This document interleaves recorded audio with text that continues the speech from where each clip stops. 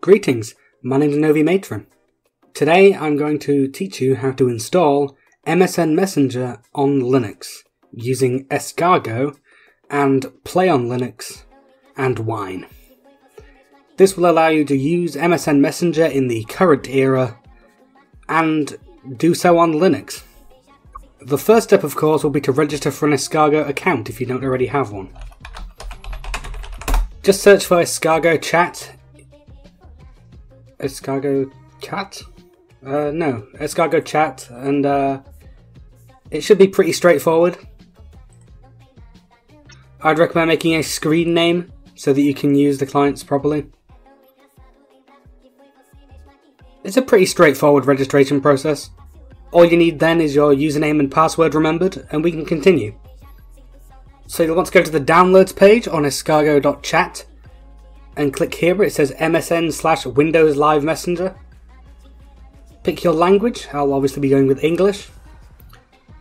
And specifically, you want to download from this page MSN 7.0 patched.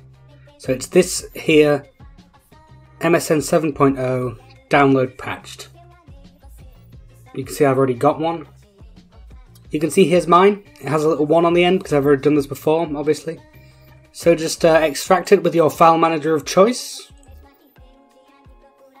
And you'll have these two files. Now to make this work, as previously mentioned, you will need to have Wine installed on your system and Play on Linux. Now it's out of the scope of this video for me to teach you how to install Wine and Play on Linux because it can differ depending on which Linux distro you're running.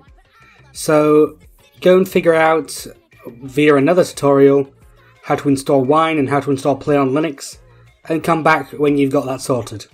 Now you want to open Play on Linux and you'll be presented with something similar to the following interface.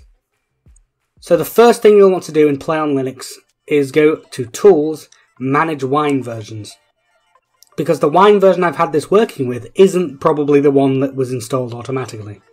So at the top here you should go to wine versions AMD64 and you can see this version here, wine 617 staging. You'll have to go through this list on the left, click on the right one and then press the, the greater than arrow here to install it. It'll go through a little quick installer where it'll download wine 617 staging and it will install it. After it's done that, close that little wine management menu and then click on configure in the main play on Linux window. Then in the bottom left corner you'll have a little new button to make a new virtual drive. Click that. Go next and press 64-bit Windows installation. And make sure you pick Wine 617 staging. Press next. Then you can type the name Basically, you can call it whatever you want. I'm just going to call it something identifiable. Escargot 70, so Escargot 7.0. Obviously, don't use any special characters. Just give it a minute to process. Okay, it's done. Now click on the Escargot 70 prefix on the side, and you'll want to go to the Miscellaneous tab at the top. Now press Run a Windows executable.exe file in this virtual drive. Now while it says that, it will really actually take any Windows executable regardless of whether or not it is an exe. So what you want to do is find that MSI that you downloaded earlier and double click that and it will start running. And as you can see, here's the installer for MSN Messenger 7. So like normal, just keep pressing next You may want to decline these offers that you don't really want for toolbars and browser customizations, though they probably won't actually take any effect, so it doesn't really matter. And it's done. Okay, now click the Run a Windows executable.exe file in this virtual drive button again, go back to that same folder where you downloaded the thing, and now do this run after install.exe file. Play on Linux may say that that's crashed, and it might not actually do anything on Linux, but better to be safe than sorry. Just press cancel if this pops up, and now you're almost ready. You see, there'll be a few missing fonts if you don't set this up correctly. You see, Windows Live Messenger, MSN Messenger, it uses a few fonts that if you have missing, it'll look a bit different. It won't have any invisible text or anything. It just won't be completely accurate to what you're probably expecting. It'll replace it with some open source font, which works fine, but doesn't look exactly perfect. So we're just going to do this final step to install the fonts, and then we can get it working. So to do this, be in the miscellaneous tab again, where you were before, for escargot, and press open a shell it will open a terminal, probably Xterm, and now you need to type the following commands. Type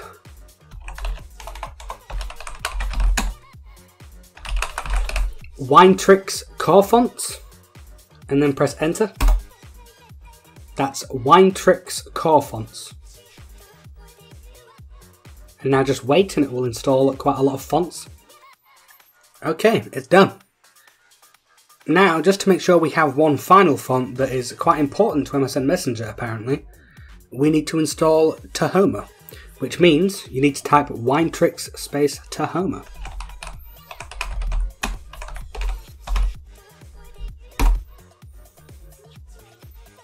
Okay, all done. So now close that Xterm window. We're on our final step basically, other than logging in.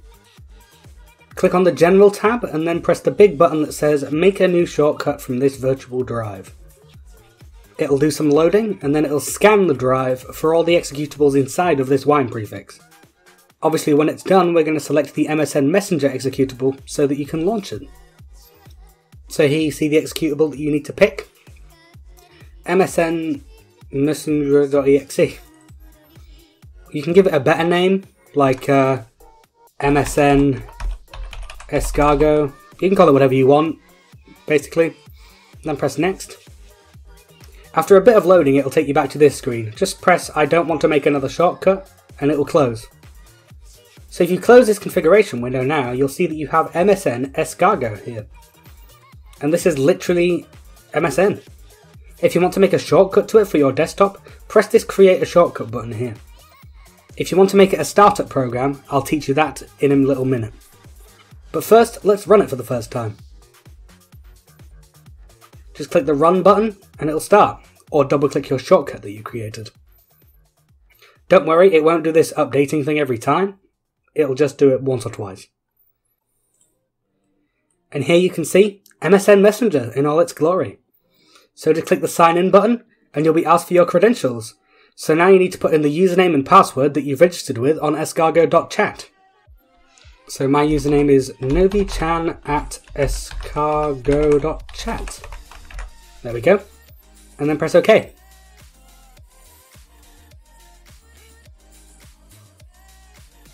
Beautiful. I don't want to join your customer experience program, Microsoft. Sadly, nobody I've added is online right now, so I can't actually show you the messaging functionality. But that's the thing, that's why I'm making this video feel free to add me on MSN and we can talk. But I can assure you, everything works as you would expect. I've used it before when it isn't a ridiculous time in the morning and people are actually online, and it's pretty good. So here's on to that last part I promised how to make it a startup program. You'll have to enter your startup applications GUI, basically the place where you set what your startup programs are. If you don't have one on your desktop environment, it's a little harder, but you can basically figure it out.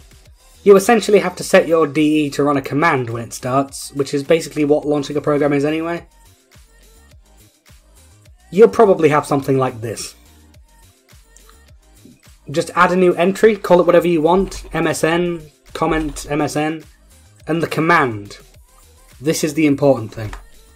The command is going to be based on the name that you gave the virtual drive wine prefix. So as you can see, I called mine escargot70. So what the command is is play on Linux space dash dash run space escargot70. and then press add. And if I scroll down to MSN here, you can see that it's an entry and it will run this command on startup which will then run MSN using Escargot. I will note as one final important thing, if you want to be able to close this play on Linux window, you have to launch Escargot either from a shortcut or as a startup program, or else when you close this window, MSN will close. But if you make sure you launch it from your shortcut, or using the command I just taught you, you'll be able to just have it open as its own standalone window without requiring the Play on Linux window open. And as you can see, it works just fine. Just make sure to launch it from the shortcut that you made, or from the startup program that I taught you a second ago.